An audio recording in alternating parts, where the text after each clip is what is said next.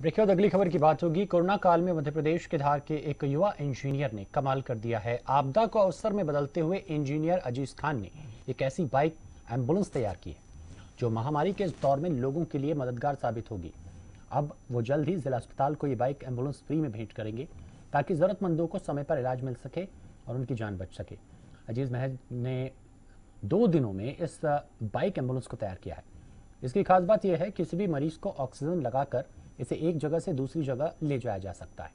मरीज़ के साथ एक दूसरे शख्स को भी बाइक एंबुलेंस में आसानी से बिठाया जा सकता है, जो मरीज़ की देखभाल कर सके। इसमें दवाइयों से लेकर 25 किलो का ऑक्सीजन सिलेंडर लगा है। इससे अब तक आठ लोगों को नई ज़िंदगी मिली है।